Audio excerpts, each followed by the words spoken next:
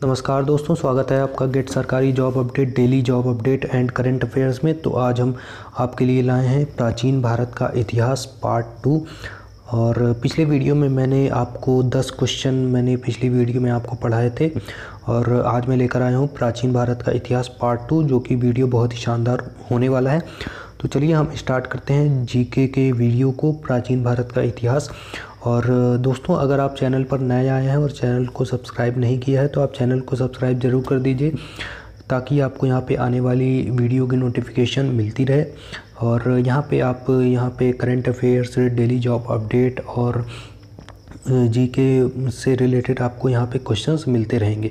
चलिए हम स्टार्ट करते हैं यहाँ पे अपने वीडियो को और जानते हैं कि यहाँ पे प्राचीन भारतीय इतिहास के कुछ महत्वपूर्ण क्वेश्चन जो कि आपके आरआरबी ग्रुप डी से रिलेटेड जो कि इंपॉर्टेंट हो हो सकते हैं। और चलिए हम स्टार्ट करते हैं यहाँ पे। तो हमारा जो पहला प्रश्न है यहाँ पे, पाल वंश का संस्थापक कौन था? तो यहाँ पे देखिए हमारे पास ऑप्शन है यहाँ पे A Gopal B Yashpal C Dharmpal और डी महिपाल।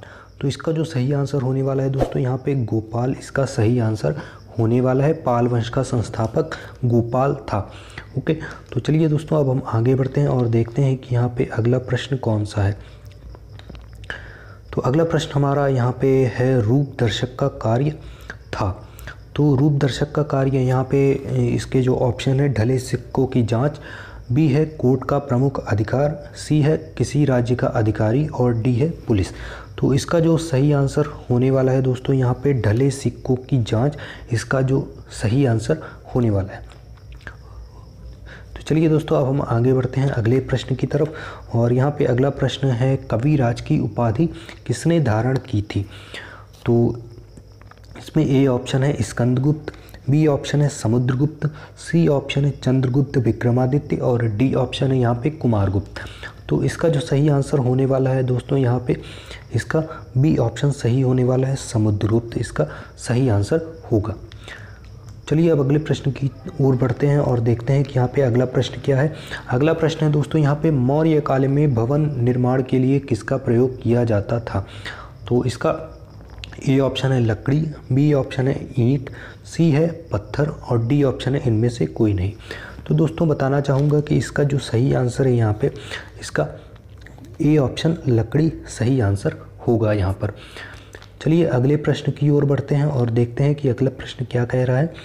तो अगला प्रश्न यहाँ पर है, निम्नलिखित में से किसने गणित को एक अलग विषय के रूप में स्थापित किया? यहाँ पे ए ऑप्शन है बराह मीर बी है आर्यभट्ट, सी है ब्रह्मभट्ट और डी है चर तो इसका जो सही आंसर होने वाला है दोस्तों, यहाँ पे बी ऑप्शन आर्यभट्ट यहाँ पे इसका सही आंसर होने वाला है। चलिए अगले प्रश्न की तरफ़ बढ़ते हैं और देखते हैं कि अगला प्रश्न हमारा छठवां प्रश्न क्या है। छठवां प्रश्न हमारा दोस्तों है, यहाँ पे ऋग्वेद किस युग में लिखा गया था? तो यहाँ पर ए ऑप्शन है पाषाण युग बी है लौह युग सी ऑप्शन है ताम्र युग और डी ऑप्शन इनमें से कोई नहीं।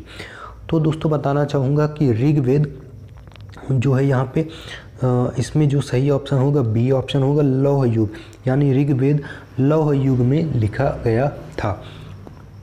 चलिए अगला प्रश्न देखते हैं और अगला प्रश्न यहाँ पर, ये सातवां प्रश्न है और सातवां प्रश्न है कि निष्क शब्द किसके लिए प्रयोग होता था? यहाँ पे निष्क शब्द किसके लिए प्रयोग होता था, ये हमारा प्रश्न है और इसके जो ऑप्शन है ए ऑप्शन है फ़सल बी ऑप्शन है कर सी ऑप्शन है मुद्रा और डी ऑप्शन है औज़ार।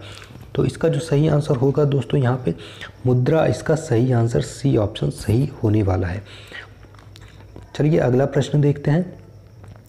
आठवां प्रश्न, जो कि है सिंधु घाटी सभ्यता का स्थान कोटा टिबा किस प्रदेश में है? ए है गुजरात, बी है मध्य प्रदेश, सी है उत्तराखंड और डी ऑप्शन है दोस्तों यहाँ पे कर्नाटका। तो इसका जो सही आंसर होने वाला है दोस्तों यहाँ पे ए ऑप्शन यानी गुजरात जो हमारा है, ये सही आंसर होगा। ओके दोस्तों? चलिए अब हम आगे बढ़ते हैं अगले प्रश्न की तरफ़। और हमारा जो अगला प्रश्न है, नौवा प्रश्न, जो कि है, उज्जैन के राजा विक्रमादित्य ने किनके ऊपर विजय प्राप्त करके विक्रम संवत शुरू करवाया? तो इसका ए ऑप्शन है शक बी ऑप्शन है कुषाण सी ऑप्शन है हूण, और डी ऑप्शन है यवन। तो इसका जो सही आंसर होना चाहिए दोस्तों यहाँ पे। ए ऑप्शन, शक, इसका सही आंसर होगा। चलिए अगले प्रश्न की तरफ़ बढ़ते हैं और देखते हैं यहाँ पे अगला प्रश्न क्या है। तो अगला प्रश्न है हमारा दसवां प्रश्न और ये प्रश्न है, अशोक किस वंश का राजा था? तो यहाँ पर ए ऑप्शन है मौर्य वंश, बी ऑप्शन है गुप्त वंश, सी ऑप्शन है शुंग वंश और डी ऑप्शन है सातवाहन वंश। तो दोस्तों, इसका जो सही आंसर होगा, यहाँ पर मौर्य वंश इसका सही आंसर होगा, यानी अशोक मौर्य वंश का राजा था।